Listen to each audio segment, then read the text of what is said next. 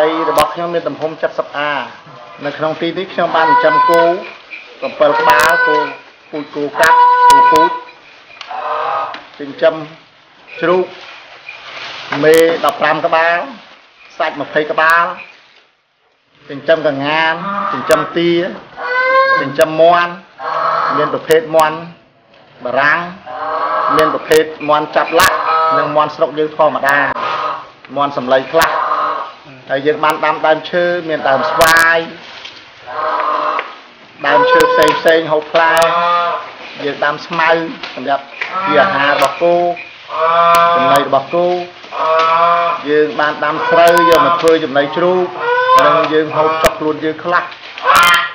ដើម្បីសុខភាពហើយយើងបានដាំតកួនដាំបន្លែផ្សេងផ្សេងទៀតពីចំណីសត្វខ្លះនិងសម្រាប់ខ្លួនយើងខ្លះ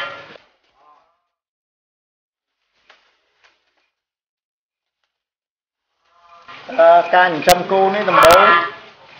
យើងបានកែឡៃផលិតកម្មនិងសាក់បសុព្យាបាលខេត្តព្រៃវែងបោះមន្ទីរកសិកម្មខេត្តហ្នឹងបានគេបណ្ដុះបណ្ដាលយើងពីរបៀបចិញ្ចឹមសត្វគោសត្វជ្រូកនិងសត្វមាន់ហើយរបៀបការផ្ដល់ចំណីដើម្បីធានានិរន្តរភាពបានចិញ្ចឹមគោយើងត្រូវការដាំស្មៅ ព្រោះឯពេលវេលាដំណាក់កាលនេះការលែងគោទៅទីវាលអីវាមានការលំបាកវាប៉ះពាល់ទៅលើស្រូវអង្គរបស់ប្រជាជនយើងចិត្តខាងអញ្ចឹងកន្លែងលែងអត់មានហើយការដែលគោដើររស៊ីហ្នឹងវាអត់បានស្មៅល្អការរីកចម្រើនខុសខុសរបស់គោមិនបានល្អទេអញ្ចឹងមន្ទីរកសិកម្មជាពិសេសផ្នែកផលិតកម្មនិងតាក់សុខជាបាលខេត្តព្រៃវែងបានណែនាំខ្ញុំបានហ្នឹងឲ្យបានដាំស្មៅប្រភេទ pink grass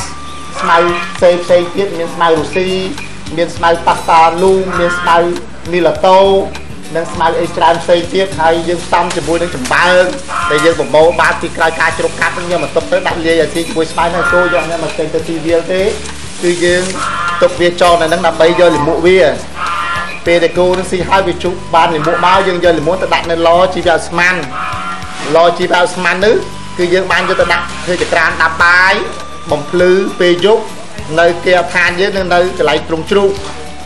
ទៅចុះកាសំណល់នៃពីឡោស្មានអ៊ំកាសំណល់ឡជាស្មានយើងយកមកបានយកមកដាក់លើស្មៅដើម្បីចិញ្ចឹមគោដាក់ទៅក្នុងស្រែនិងយកទៅធ្វើចំណីត្រីខ្លះតើគោថែរក្សាសុខភាពយ៉ាងម៉េច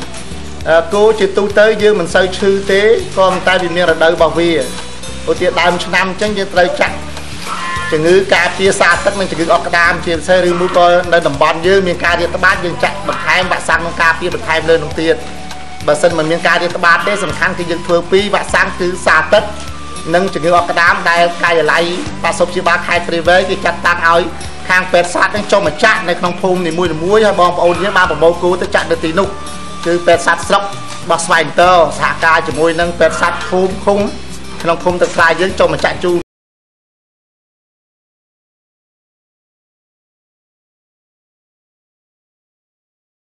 តើទៅនឹងការចិញ្ចឹមជ្រូកតើមានបច្ចេកទេសអីខ្លះទេការចិញ្ចឹមជ្រូកហ្នឹងគឺខ្ញុំធ្វើចំណីដោយខ្លួនឯង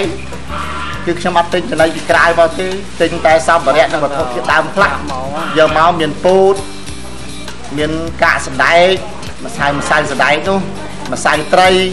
ហើយនឹងម្សៅងាវគ្រុំចងដែលយើងទិញយកមកលាយគ្នាជាមួយស្រូវដែលយើងធ្វើបានយើងស្តុកទុកយកមកកិនខ្មុកហើយលាយជាមួយនឹងពោតខ្មុក លាយជាមួយនឹងកាកសណ្ដែកម្សៅត្រីហើយនឹងម្សៅងាវគ្រុំអីបានហ្នឹង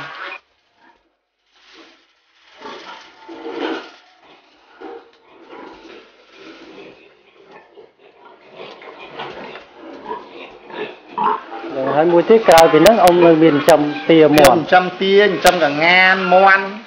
អីផ្សេងផ្សេងទៀតច្រើន ខ្ញុំនឹងធ្វើតាមការណែនាំរបស់ក្រសួងកសិកម្មមន្ទីរកសិកម្មជាពិសេសផ្នែកផលិតកម្មបាសុខជាបាគឺ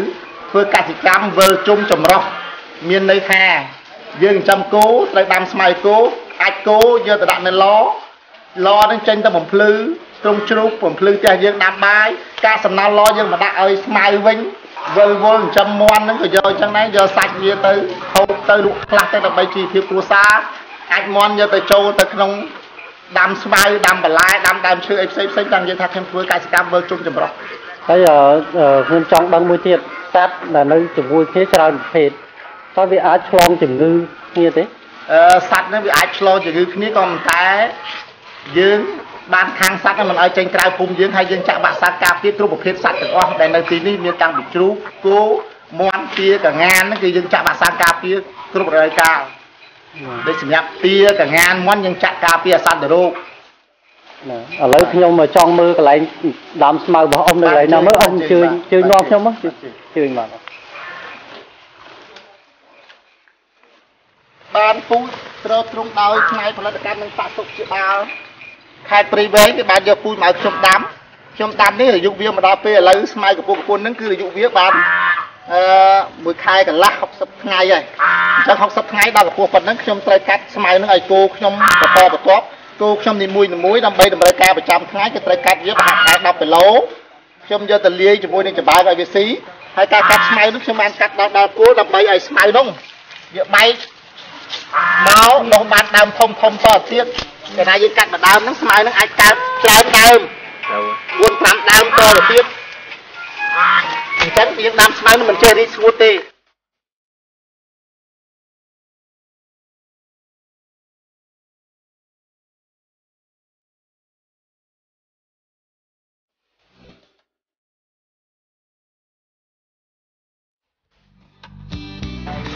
ពីនេះយើងមានប្រព័ន្ធទឹកស្រោចទៅហើយកន្លែងនេះយើងបញ្ចូលទឹកមកហើយនឹងឡជីវៈស្មានចូលក្នុងនឹងមកយើងជះវាស្រោចទៅលើស្មៅទៅ ដើម្បីស្មៅនឹងវាបានល្អទៅតាន់ព្រោះនេះកន្លះខែយើងកាត់ម្ដងកន្លះខែយើងកាត់ម្ដងណាតែអញ្ចឹងដើម្បីតាន់ដើម្បីគោចឹងស្មៅហ្នឹងគឺយើងវិលជុំនៅនឹងមើមកលជុំអត់មានគោយើងគឺមិនដែលបញ្ចេញទៅក្រៅទេគឺកាត់ស្មៅឲ្យស៊ីនិងច្បើងខ្លះមួយចំនួនទៅយើងប្រហាក់ប្រហែលគោមួយ10គីឡូក្នុងមួយថ្ងៃទៅអញ្ចឹងគោនឹងរស់យ៉ាងស្រួលព្រោះដីនេះវា 50A ហើយយើងដាំនៅខាងក្នុងប្រហែលជាប់ 20A ទៀតគ្រប់គ្រាន់តិចទៀតយើងទៅបរិដាំទៅក្រោយទៀតដើម្បីបង្កើតគោថែមទៀត គោគម្រោងរបស់ខ្ញុំចង់ធ្វើឡជីវៈឧស្ម័ន15ម៉ែត្រគីបបាទដាំមិនបានខ្ញុំត្រូវធ្វើឡបន្ថែមទៀតគោម្ដងរបស់ខ្ញុំខ្ញុំចង់យកឧស្ម័នពីឡដើម្បីប្រើជាម៉ាស៊ីនភ្លើងដើម្បីបំភ្លឺនៅក្នុងភូមិនៅកន្លែងចំជ្រូកនិងចំសัตว์គ្រប់កន្លែងនោះតែប្រហែលជាឆ្នាំក្រោយខ្ញុំនឹងចាត់ដំណើរការធ្វើឡនឹងទៀតហើយ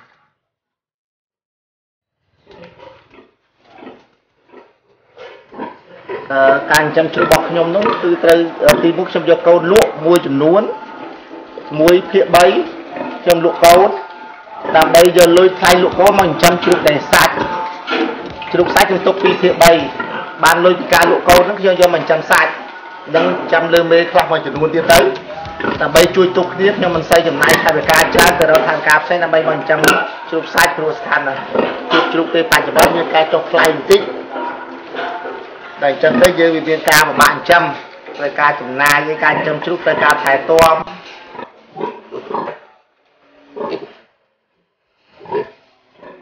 ការចិញ្ចឹមជ្រូកសំខាន់ត្រូវការពូជនេះកត្តាទី1កត្តាទី2រឿងអនាម័យទៅលើជ្រូកកត្តាទី3គឺរឿងចំណីអាហាររបស់ជ្រូកនិងកត្តាទី4កន្លែងរស់នៅរបស់ជ្រូកសំខាន់ណាស់កត្តា4ដើម្បីឈានទៅការចិញ្ចឹមជ្រូកបានជោគជ័យនោះហើយការចិញ្ចឹមកន្លងមកខ្ញុំមិនដែលជួបឧបសគ្គទេគ្រាន់តែពេលឥឡូវនេះវាមានផលលំបាកសម្រាប់ខ្ញុំខ្លះដោយសារជ្រូកវា ចុះថ្លៃដោយសារជ្រូកចុះថ្លៃវាមានការប្រកួតប្រជែងជាមួយនឹងជ្រូកក្រៅស្រុកនៅធ្វើឲ្យមានការលំបាកអញ្ចឹងខ្ញុំបន្ថយការចិញ្ចឹមខ្លះព្រោះអីវាត្រូវការទីចំណីច្រើននិងខ្ញុំចង់ប្រវែងការចិញ្ចឹមគោឲ្យបានច្រើនជាងការចិញ្ចឹមជ្រូកពេលឥឡូវនេះនៅពេលដែលជ្រូកឡើងថ្លៃវិញមកខ្ញុំងាកមករកការចិញ្ចឹមជ្រូកជាទ្រង់ទ្រាយធំវិញពេលមុនខ្ញុំធ្លាប់ចិញ្ចឹមសាច់70 80មេគ្រប់ទ្រង់អស់ឥឡូវខ្ញុំលក់មេចេញមួយចំនួនទៅទៅសល់មេដែល តែជា5 10ក្បាលនិងសាច់ប្រហែល20ក្បាលជាងពីមុនខ្ញុំចិញ្ចឹមណែនណែនទ្រង់ដល់ពេលជ្រូកចុះថ្លៃនេះយើងចិញ្ចឹមអត់សូវបានចំណេញឬចំណេញបានតិចពេកខ្ញុំក៏បន្ថយទៅពូជមួយចំនួនបានពីក្រុមហ៊ុន Montethi Group យកមកដើម្បីបង្កាត់ពូជនិងពូជមួយចំនួនទៀតពូជនៅក្នុងស្រុកខ្លះនិងពូជមកពីថៃខ្លះអញ្ចឹងខ្ញុំធ្វើស្លេចពូជនេះដើម្បីឲ្យជ្រូកនឹងកាន់តែល្អហើយយើងបានទៅរកបាវវាអឺពូជពីត្រៀមបា នេះយកមកពីណាមកបាននេះយកមកក្នុងវត្តក្នុងវត្តនៅខេត្តកតហ្នឹងបាទអឺទិញមកពីគេមកដើម្បីយកមកធ្វើការពូជវាពីត្រៀមវាជាជ្រូកមួយដែលសម្បូរសាច់ឆ្អឹងធំនិងសាច់ច្រើន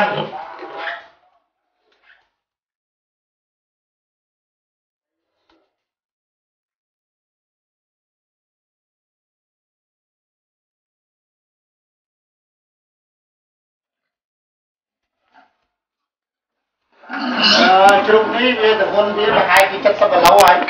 យើងចាំវាប្រើពេលពីខែកន្លះក្រោយពីផ្ដាច់ពីមេមកអញ្ចឹងវានៅក្នុងមេ28ថ្ងៃយើងផ្ដាច់ពីមេមកបាន2ខែកន្លះហើយប្រហែលជាមួយខែក្រោយទៀតទម្ងន់របស់វាឡើងដល់90គីឡូឡើងហើយអញ្ចឹងយើងប្រហែលជាមួយខែក្រោយទៀតយើងត្រូវបានលក់វាមួយចំនួនទៀតហើយបាទហើយយើងបានចាប់បន្តពីអាកូនតូចតូចមកទៀត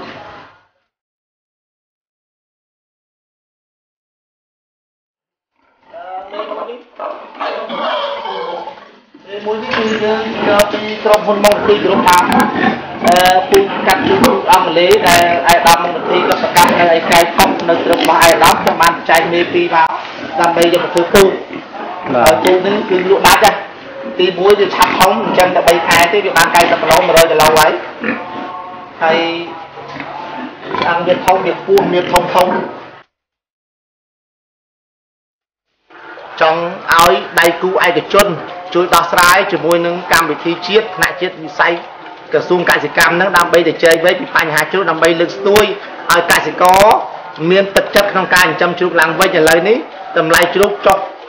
ដល់កម្រិតមួយហើយនៅឆ្នាំ2015នេះកសិករយើងមានកាន់តែមានផលលំបាកខ្លាំងទៀតដោយសាររនាំងសេដ្ឋកិច្ចក្នុងអាស៊ាននេះអត់ត្រូវបានបិទដូចពេលមុនទៀតទេអញ្ចឹងការចិញ្ចឹមជ្រូករបស់បរទេសគេល្អជាងយើងសាច់គេល្អជាងយើងយើងតម្រូវការទីផ្សារ ដើម្បីធ្វើចំណុចនឹងបាន ទី1សូមឲ្យរដ្ឋាភិបាលដៃគូឯកជននេះជួយ បញ្ជូនបច្ចេកវិទ្យាពីការចិញ្ចឹមសត្វជាពិសេសវិស័យកសិកម្ម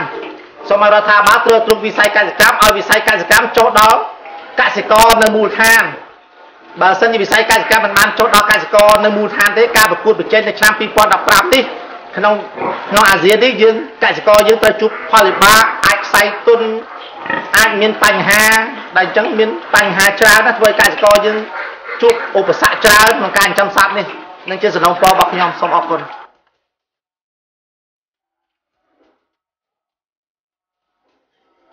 គួននឹងដោះមិនឈប់មិនឆ្លោទេហើយតគួនបានពីទឹកទៅពីទឹកលៀនជ្រូកចូលមកកន្លែងហ្នឹងហើយនឹងមានត្រីដៃមួយចំនួនទៅនៅហ្នឹងទៅវាស៊ីអាចជ្រូកមួយចំនួនហ្នឹងចូលទៅ ឡោទៅកាកសំណល់ដែលយើងលៀនវាតិចតួចចូលមកតគួនតគួនគឺល្អអត់ខ្ចោះមកហើយស៊ីមិនចេះអស់ដុះរហូតកើតរហូត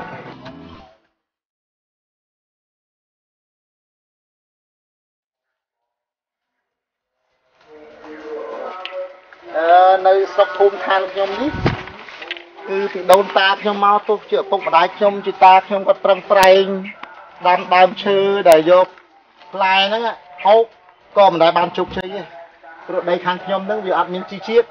ដីហិលតែមកខ្ញុំខ្ញុំប្រឹងកែច្នៃតាមការណែនាំរបស់កាល័យផ្នែកកសិកម្មហ្នឹងខ្ញុំដាំខ្នោបានផ្លែដែលលោកឃើញនៅចំពោះមុខនេះស្រាប់